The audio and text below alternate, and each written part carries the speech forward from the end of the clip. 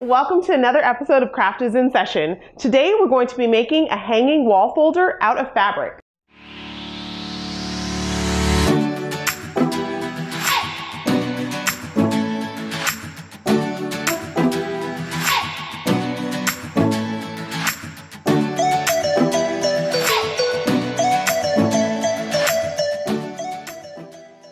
To make your fabric wall folder, here's what you need to use a large self-healing cutting mat, a fabric ruler, a piece of heavyweight canvas, a piece of cotton fabric in any pattern that you like, fabric decoupage glue, a water-based polyurethane, a fabric cutter, a craft knife, a paintbrush, and a pack of large eyelets.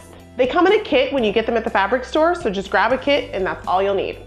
I'm gonna put out my fabric. I have that one piece of really pretty patterned fabric and then a piece of kind of a heavyweight duck canvas and that's gonna give it some weight. They're both cut to about 15 inches across by 22 inches high. You have a little bit of leeway because we are gonna trim this down later.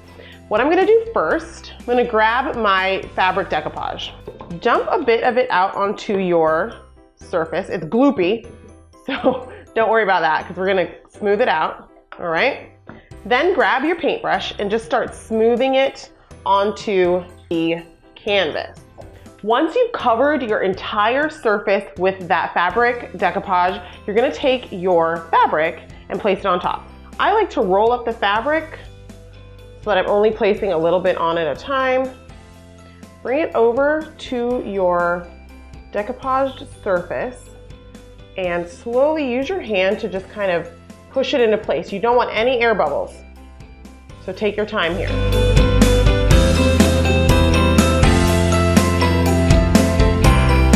Now we're gonna add another layer of decoupage glue on top to seal those two fabrics together.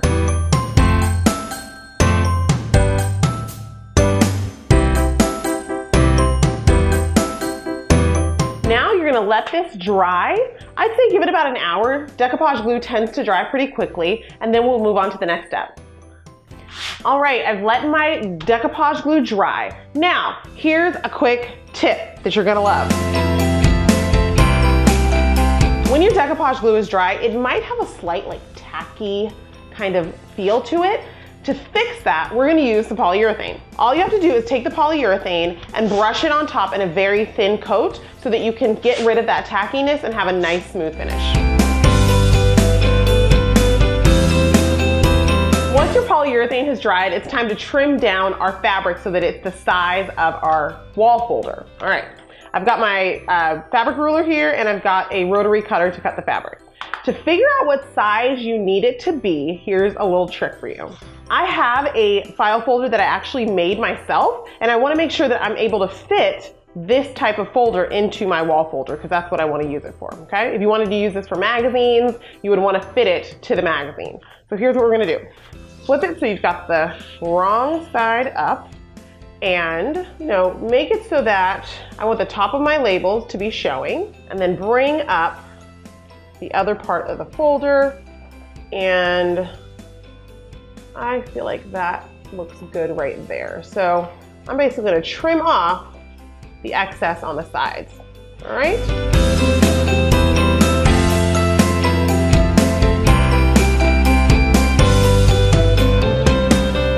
Now that I've got it trimmed the way I want it so that a little bit of my folder sticks out of the top, I wanna trim off enough on the sides so that I can place grommets. So I'm gonna leave about one inch on the sides of my folder.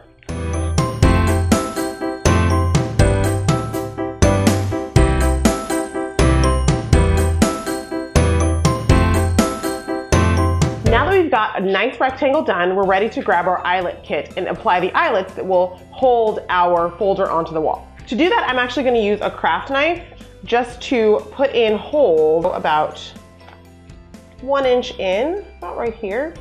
Feels good. And I'm just gonna make a little slit. That way I'm cutting through both layers of fabric at the same time. And then I can cut a slit in the opposite direction to make an X. Then we're gonna move over to the other side and do the same thing. I'm using my mat as a guide because I know I want my, my plus sign to go here so that way they'll be the same on each side. your eyelets are gonna come with two different eyelets. One that has a taller cap and then one that has the shorter end. So you're gonna take the eyelet with the taller center and push that through the top of your fabric. That's gonna be the front of your eyelet. Then on the back, you're gonna cap it off with the eyelet that has the shorter center. Now you're going to use the tools that come with the kit. Put this black piece here and put this piece, that little hammer head, right here. Then you're gonna just take a hammer and give it a nice big whack. And now you have a perfectly placed eyelet. So we're gonna do that for all four of the slits on our fabric magazine or file or whatever you wanna call it, wall folder.